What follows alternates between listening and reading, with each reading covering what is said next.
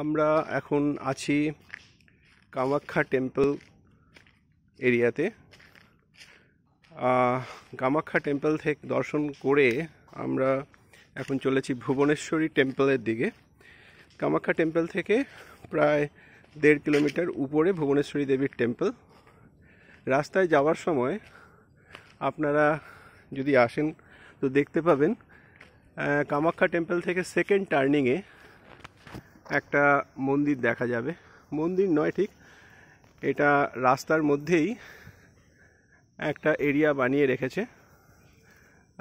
যেখানে একটা প্রস্তরখণ্ড বা শিলাখণ্ড আছে। সেই শিলাখণ্ডটা যাওয়ার জন্য স্টেয়ার মতো করে দেওয়া আছে। সেই স্টেয়ার দিয়ে আপনাকে উপরে যেতে হবে। ওখানে নিগমানন্দ ঠাকুরের নির্বিকল্প সমাধি স্থান যে কেউ জিজ্ঞেস করতে পারেন, নির্বিকল্প সমাধি বা ঠাকুর সম্বন্ধে কিছু জানার ইচ্ছা থাকতে পারে। তো আমি তাদের বলব, যারা ধর্ম নিয়ে আলোচনা করেন বা ধর্ম সম্বন্ধে যাদের অনুসন্ধিৎসা আছে, তারা জানবেন যে শ্রীরামকৃষ্ণ উত্তর যে এক ধর্ম প্লাবন এসেছিল, ভাব এসেছিল, তার মধ্যে অনেক গুরু তারপর থেকে বাংলার মাটিতে এসছিলেন। তাদের মধ্যে একজন অন্যতম হচ্ছেন নিগমানন্দ ঠাকুর। তো যেমন দেখতে পাচ্ছেন, এখানে নিগমানন্দ ঠাকুরের এই যে জায়গাটা উদ্বোধন করা হয়েছিল, যেখানে তিনি নির্বিকল্প সমাধি পেয়েছিলেন, সেটা করা হয়েছিল উনিশশো চুরাশি সালে। তখন আসামের এই জায়গাতে গভর্নর ছিলেন জানকী বল্লভ পট্টনায়ক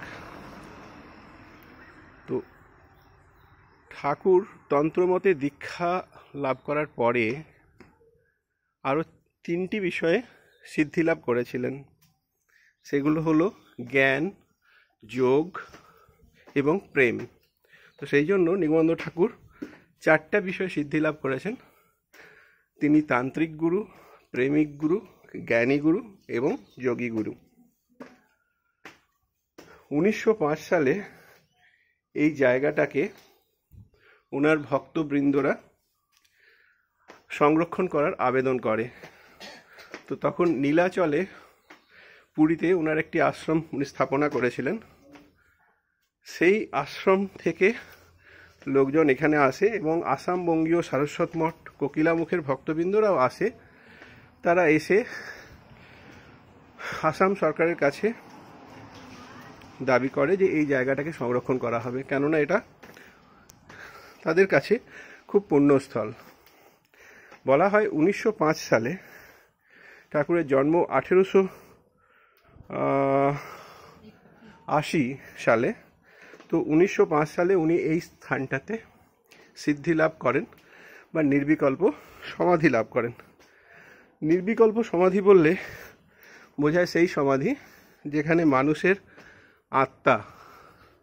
পরমাত্মার সঙ্গে লীন হয়ে যায়। কিন্তু ওই কন্ডিশনে পৌঁছলে সবাই পৃথিবীতে ব্যাক করে আসতে পারে না। কিন্তু সেই সমস্তই কিছু গুরু আছেন যারা যারা জগতের কল্যাণ সাধনের জন্য, তাদের ধর্মটাকে প্রচার করার জন্য পৃথিবীতে আবার গুরু ভাব নিয়ে আসেন। তাদের মধ্যে একজন হলেন নিগমানন্দ ঠাকুর। তো উনি উনিশশো পাঁচ সালে এইখানে বসে ধ্যান করেছিলেন। তখন আজকের এই কামাখ্যা পাহাড় ছিল না। আজকের এই কামাখ্যা পাহাড়ে যেমন জায়গায় জায়গায় জঙ্গল কেটে ফ্ল্যাট তৈরি করেছে, তা ছিল না। তখন ছিল পুরো জঙ্গল, চারিদিকে বাঘ, সিংহ বেরাতো এই যে এখন দেখছেন, এই যে শিলাখণ্ডটি, উপরে কি সুন্দর ছাদ করে দিয়েছে, বা বসার ব্যবস্থা করেছে। তখন কিন্তু এইসব ছিল না। পুরো জঙ্গলের মধ্যেই শিলাখণ্ডের উপরে তিনি ভগবানের নাম নিয়ে বীজ মন্ত্র জপ করেছিলেন। তো সেইখানে নির্বিকল্প সমাধি তিনি লাভ করেন। সেই জন্য এই জায়গাটাকে সংরক্ষণ করে রাখা হয়েছে। উনিশশো চুরাশি সালে জানকী বল্লভ পট্টনায়কের তদারকিতে এই জায়গাটা আসাম গভর্নমেন্ট সংরক্ষিত জায়গা হিসেবে ঘোষণা করে। এখানে দেখতেই পাচ্ছেন, এই হচ্ছে সেই পবিত্র শিলাখণ্ড, যার উপরে বসে নিগমানন্দ ঠাকুর ধ্যান করেছিলেন। আর দূরে দেখতে পাচ্ছেন, দূরে কি সুন্দর ব্রহ্মপুত্র নদী দেখা যাচ্ছে এখান থেকে। ওই পারে গৌহাটি সিটি বড় বড় বিল্ডিং গড়ে উঠেছে ওখানে। যারা ধর্ম নিয়ে অনুস- অনুসন্ধিৎস, তারা যদি আসতে চান এখানে, তাহলে অবশ্যই আপনারা গৌহাটি এয়ারপোর্টে পৌঁছলে সেখান থেকে উনিশ কিলোমিটার দূর হচ্ছে কামাখ্যা পাহাড়।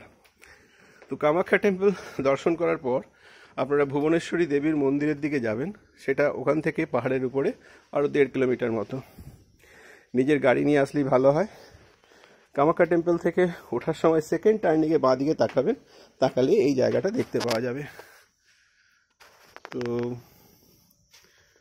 আপনারা সবাই যারা আসতে চান, তারা অবশ্যই এই স্থানটি দর্শন করে যাবেন কামাখ্যা টেম্পল এলে। কারণ গুরুস্থান দর্শন করা ভাগ্যের ব্যাপার।